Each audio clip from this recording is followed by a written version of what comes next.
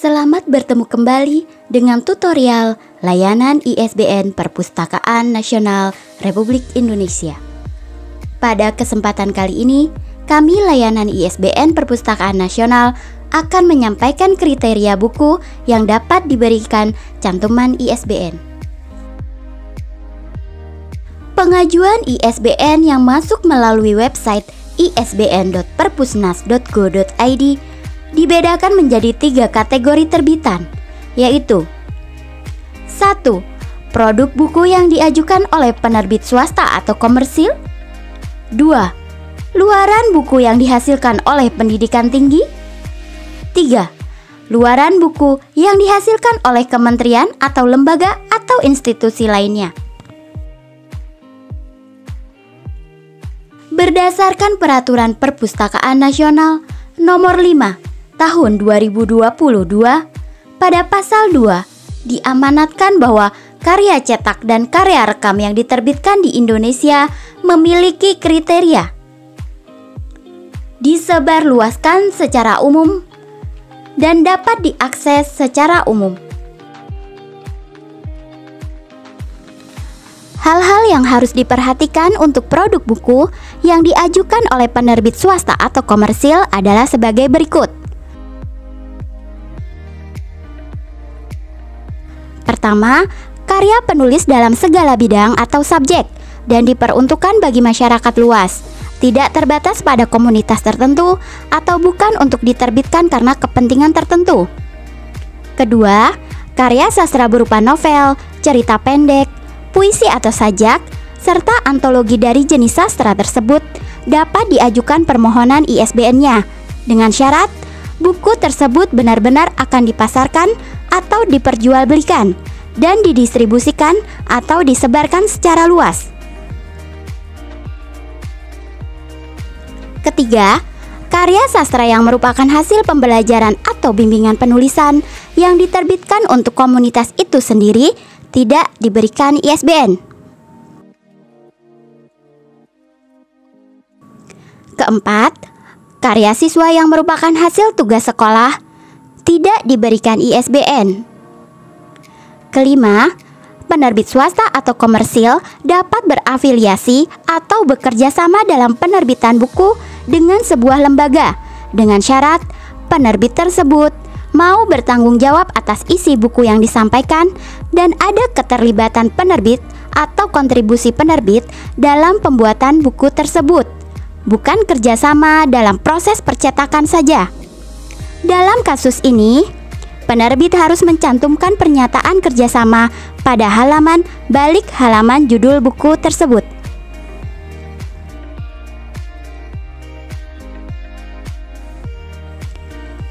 Minimal ketebalan buku populer, sains dan ilmiah adalah 49 halaman, merujuk pada definisi buku dari UNESCO. Untuk pengajuan ISBN buku anak, minimal jumlah halaman adalah 8 halaman. Cover depan bisa mewakili halaman judul jika memang tidak menyediakan halaman judul. Hal penting yang harus diperhatikan pada cover tersebut memuat informasi yang dibutuhkan, seperti judul, kepengarangan, dan cantuman penerbit.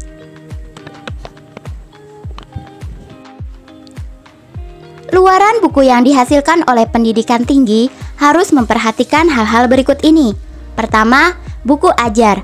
Pengertian buku ajar menurut Pedoman Operasional Penilaian Angka Kredit Direktorat Jenderal Pendidikan Tinggi tahun 2019 adalah buku pegangan untuk suatu mata kuliah yang ditulis dan disusun oleh pakar di bidangnya dan memenuhi kaidah buku teks serta diterbitkan secara resmi dan disebarluaskan.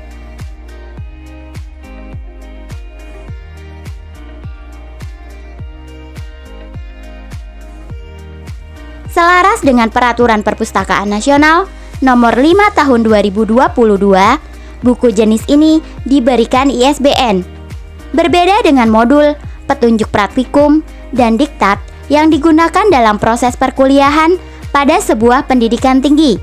Sifatnya terbatas dan internal, hanya untuk lingkup pendidikan itu sendiri. Modul, petunjuk praktikum, dan diktat tidak diberikan cantuman ISBN.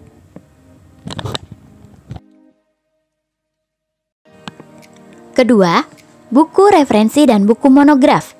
Berdasarkan POPAK Dikti tahun 2019, buku referensi dan buku monograf adalah suatu tulisan ilmiah dalam bentuk buku yang penyajiannya terikat dengan ketentuan dan kaidah penulisan karya ilmiah yang telah ditetapkan pihak perguruan tinggi. Karya ini merupakan luaran akhir dari sebuah penelitian atau kajian yang dilakukan oleh para dosen atau peneliti yang mengampu ilmu di bidangnya baik secara luas maupun spesifik kepada subjek tertentu.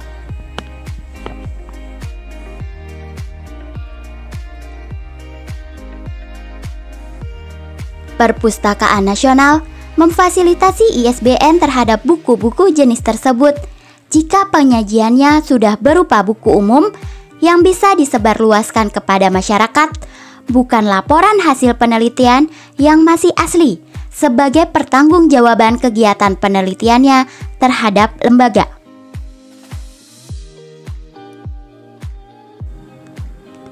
Ketiga, bunga rampai hasil penelitian. Bunga rampai dibangun oleh beberapa book chapter.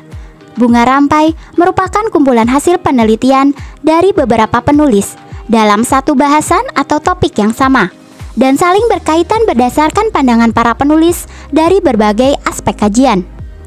Book chapter dalam bunga rampai sudah dibuat esai ilmiah yang tidak terikat dengan kaidah-kaidah penulisan karya ilmiah. Bunga rampai sering disebut edited book karena peran editor dalam jenis buku ini sangat menentukan, di mana editor harus menyajikan isi buku dalam rangkaian kasus yang runut dan selaras. Daftar isi pada bunga rampai harus memuat judul-judul book chapter yang diikuti penulisnya.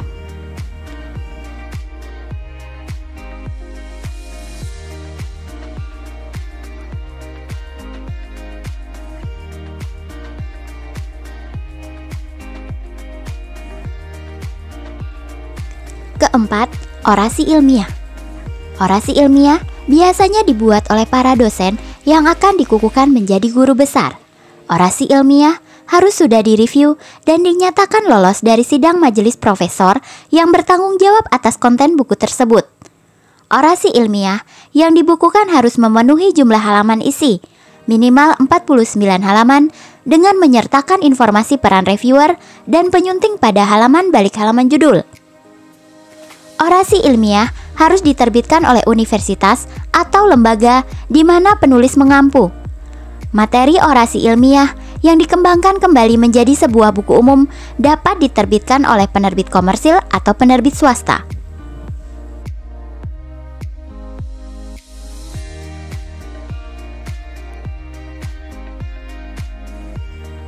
Kelima, proceeding hasil sebuah pertemuan yang diselenggarakan sekali saja dapat diberi ISBN. Tetapi, jika pertemuan tersebut diselenggarakan secara berkala atau rutin, silakan daftarkan ke Badan Riset dan Inovasi Nasional atau BRIN untuk mendapatkan identifikasi ISSN. Proceeding hasil pertemuan yang dapat diberi ISBN harus memenuhi ketentuan sebagai berikut. Judul utama, kata proceeding yang diikuti dengan nama pertemuan tersebut. Proceeding Webinar Nasional Kesehatan. Tema seminar merupakan subjudul pertama, membangun transformasi digital pada layanan kesehatan dalam menghadapi tantangan Starkes. Tempat dan waktu pelaksanaan dijadikan subjudul kedua pada pencantuman di ruas judul Bandung, Rabu, 16 November 2022 adanya susunan kepanitiaan pertemuan tersebut pada halaman balik halaman judul. Kepanitiaan tersebut mencakup panitia umum dan panitia khusus. Kepanitiaan umum adalah susunan orang-orang yang terlibat, seperti ketua, penanggung jawab, sekretaris, bendahara, dan seksi-seksi yang menunjang kelancaran acara. Kepanitiaan khusus mencakup adanya steering committee atau dewan pengarah reviewer, dan penyunting.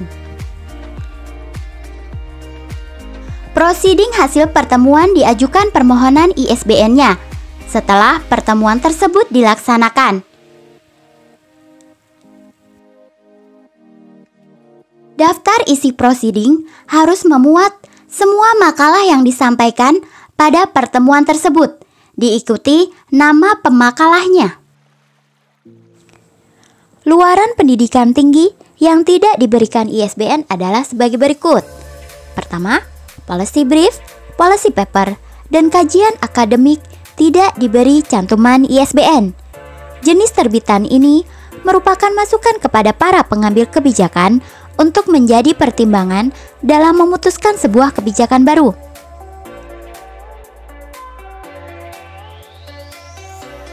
Kedua, karya mahasiswa yang berupa laporan hasil kuliah kerja nyata atau hasil studi banding atau magang atau tugas perkuliahan tidak diberikan ISBN. Ketiga, karya sastra, novel, cerita pendek, atau puisi yang dibuat oleh para mahasiswa sebagai bentuk penyaluran bakat atau pengembangan kemampuan berliterasi, namun karya tersebut hanya diterbitkan dan beredar pada lingkungan kampus atau pada komunitas terbatas, tidak diberikan ISBN. Keempat, pedoman yang dibuat dan dikeluarkan pihak kampus untuk mengatur kegiatan di lingkup kampus tersebut tidak diberikan ISBN. Luaran buku yang dihasilkan oleh kementerian atau lembaga Produk buku kementerian atau lembaga hampir sama dengan produk pendidikan tinggi. Ketentuan-ketentuannya juga sama. Produk kementerian atau lembaga yang diberikan ISBN adalah sebagai berikut. Pertama, produk hukum. Berupa undang-undang atau hukum yang sifatnya untuk diketahui seluruh lapisan masyarakat. Kedua, pedoman atau panduan yang dikeluarkan lembaga untuk diterapkan atau digunakan oleh masyarakat yang membutuhkan. Ketiga, bunga rampai hasil penelitian.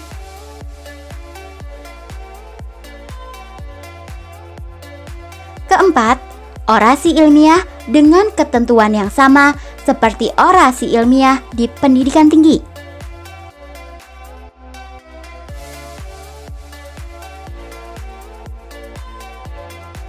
Kelima, proceeding hasil sebuah pertemuan yang diselenggarakan sekali saja tidak rutin dilaksanakan.